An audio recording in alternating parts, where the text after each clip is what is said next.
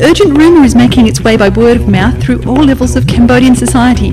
If you do not eat mung bean porridge by 11pm on a certain day, you will fall victim to a dreadful disease and die by bleeding from the nose and mouth.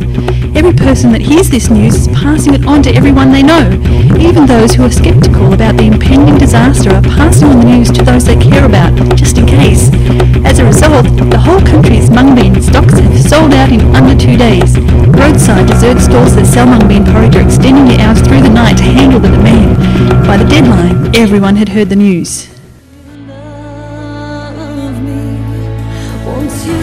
We need a strategy that will take the gospel throughout Cambodia with the same intensity as this rumour.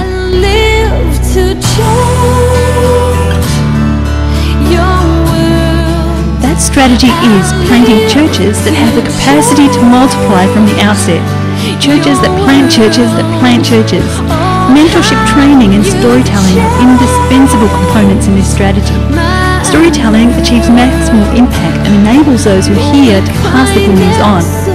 I'm training leaders in Crike and Siempang districts and using storytelling in evangelism and church planting. We are beginning to see village churches empowered to plant churches that plant churches.